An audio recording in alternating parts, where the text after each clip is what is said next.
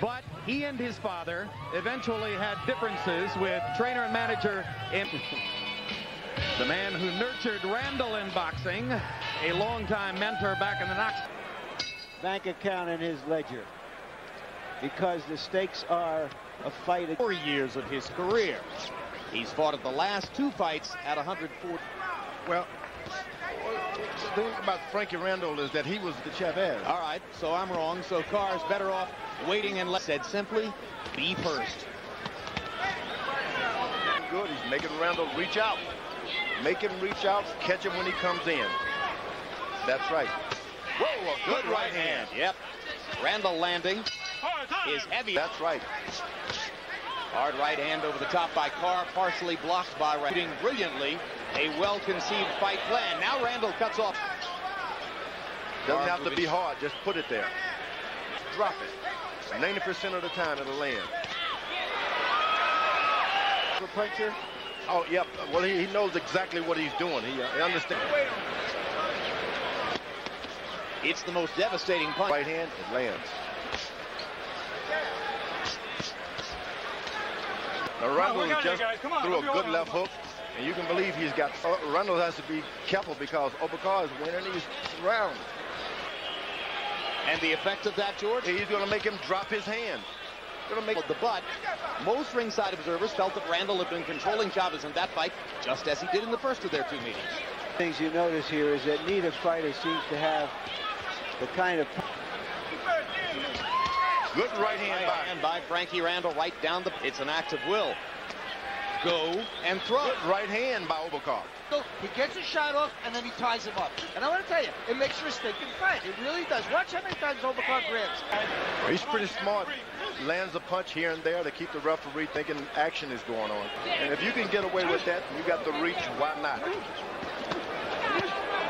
Eyes to the rib cage. Uppercut landed for Carr. Double left hook to the body and finally. Oh, that's what I mean, younger. He's learned a lot in his years in the ring.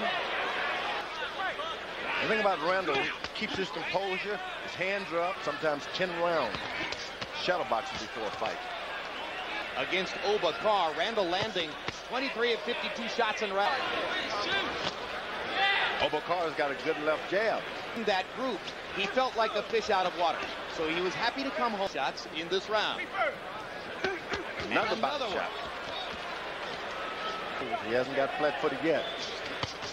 Hard left hand to the top of the advantages in the movement he's making. That's all advantages you ask. The chopping right and left hands that Carr has landed and the body shots. And now Rand.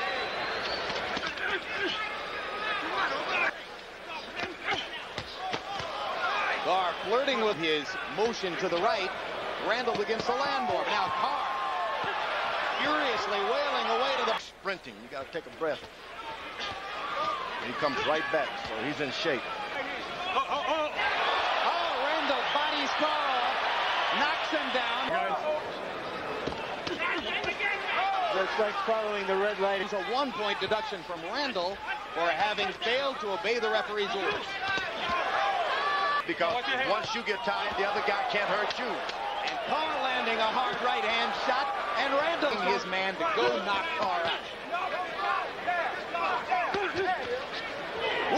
Down both guys.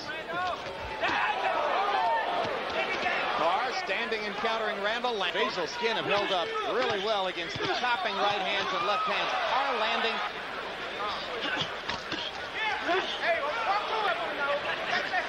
Neither fighter has ever scored a knockout past the eighth. Land more at this stage of a fight. That's, that's a feat. Power has been drained by those body shots.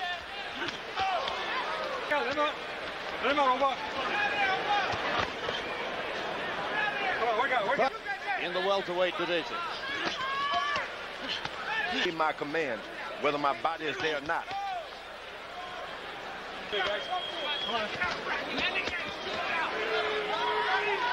American fighters, highly skilled.